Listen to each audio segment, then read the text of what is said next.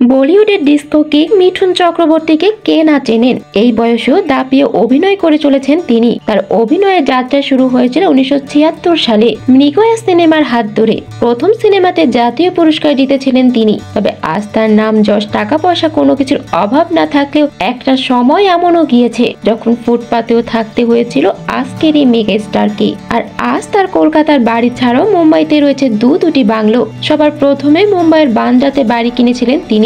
বলিউড তারকা হওয়ার পর মাড আইল্যান্ডে দেড় একর জমির উপর তৈরি এক বিলাসবহুল বাড়ি কেনেন মিঠুন, যার মূল্য পঁয়তাল্লিশ কোটি। এছাড়াও ওটিতে আরও একটি ফার্ম হাউস রয়েছে। পশুপ্রেমী মিঠুন একশোটি কুকুরের অভিভাবক। তার মাঠ আইল্যান্ডের বাংলোতে প্রিয় পশুদের থাকার জন্য আলাদা ব্যবস্থা করা রয়েছে।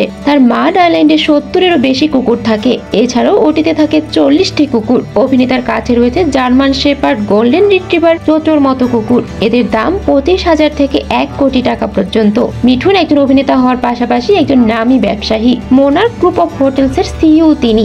ওটিতে ওনার মোনার্ক হোটেলে উনষাটটি ঘর, চারটি লাক্সারি সুইটস, একটি ফিটনেস সেন্টার আর একটা ইনডোর সুইমিং পুলের মতো একাধিক সুযোগ সুবিধা রয়েছে। এছাড়াও কর্ণাটকের তামিলনাড়ুর মতো বড় বড় শহরে ওনার বিলাসবহুল হোটেল রয়েছে। মিঠুনের কাছে উনিশশো পঁচাত্তরের ভিনটেজ কার মার্সিডিস ভেন্স রয়েছে। বিলাসবহুল এই গাড়ির দাম তিন কোটি টাকা। মিঠুন চক্রবর্তী এখন পর্যন্ত তিনশো পঞ্চাশটিরও বেশি সিনেমায় অভিনয় করে ফেলেছেন। জানা যায়, এক একটি সিনেমার জন্য তিনি দুই থেকে তিন কোটি টাকার পারিশ্রমিক নিয়ে থাকেন। সিনেমায় অভিনয় করার পাশাপাশি এই বর্ষিয়ান অভিনেতাকে বিভিন্ন রিয়েলিটি শোতে বিচারকের আসনেও দেখা যায়। জানা যায়, জনপ্রিয় dance reality show dance India ডান্সের বিচারক হওয়ার সময় তিনি দুই কোটি টাকার পারিশ্রমিক নিয়েছিলেন।